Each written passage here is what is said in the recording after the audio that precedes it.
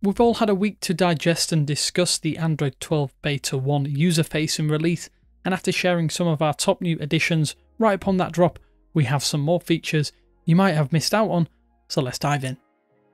Thanks for watching 9 to 5 Google here on YouTube. Remember to thumbs up, hit subscribe, and then tap the bell icon to be among the first to watch our upcoming videos.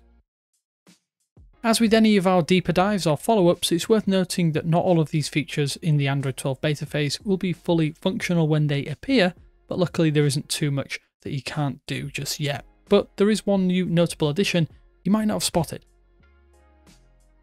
So while a dedicated gaming mode has surfaced already a couple of times in previous builds, the dedicated game mode is now technically live in the latest Android 12 Beta 1 build. We say technically as it can be enabled but isn't fully functional, at least from an end user standpoint. Gaming phones might not be something we can give a full seal of approval for everybody out there, but more OEMs are adding dedicated modes for playing mobile games.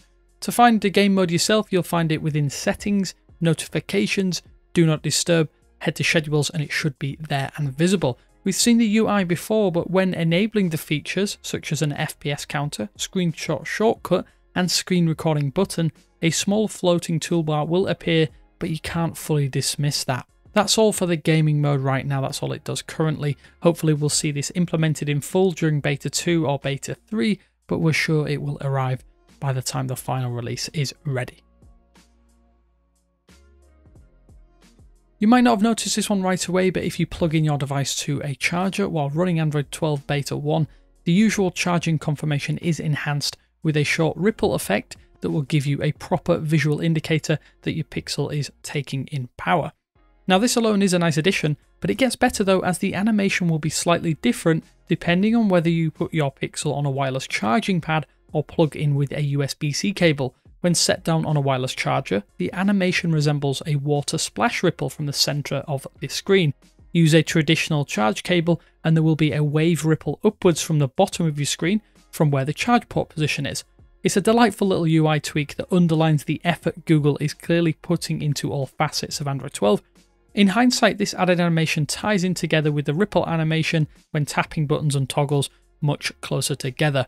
The large clock screen icon is also animated slightly if the always on display isn't fully active. Sure, this isn't the most groundbreaking of changes, but it's a great little extra visual aid. Toast messages are those brief little pop-ups that appear just above your navigation buttons or gesture bar, informing you of a change or an action that's being performed. For a long time, Toast messages have been devoid of any overt context over which app has generated them. Sure, it can be obvious given the context of the pop-up displayed, but in this latest beta build, Google is now giving you a visual indication of which app has generated them. A great example is when copying text. Say for instance you want to share a tweet for example. A toast message will pop up to confirm that Twitter has accessed your clipboard. At present, it's only visible for apps accessing the share or clipboard functionality, but we do hope that the indicator rolls out further as it is a helpful visual indicator. This one actually slipped by us at first as with such a huge visual overhaul with Android 12, the clock app has added an alarm toggle to the quick settings toggle panel for super quick access. Upcoming alarms are still shown in the status bar like you're used to, but a new toggle has come to your notifications shade section for quicker access. Tapping doesn't actually disable your alarm like you would expect it to.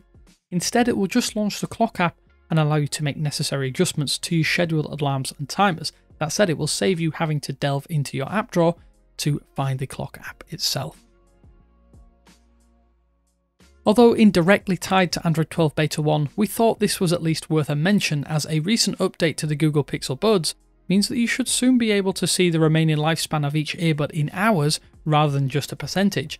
Again, although not directly related to the recent update, it only appears to be available to those running this latest beta build of Android 12. It seems to be very rare and sporadically appearing for some users out there at this stage, but if you do have the Pixel Buds and have updated your device to Android 12, you might be able to see just how long each earbud will last via the dedicated companion app or device settings in a much more human metric than a hard to decipher percentage figure.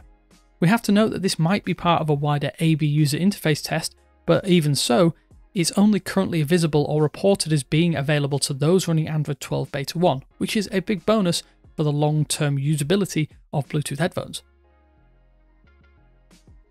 So that's a few extra features that we missed in our initial sweep of the top features as part of the Android 12 Beta 1 build. That said, if you are running it on your device, what is your favourite new feature or indeed features?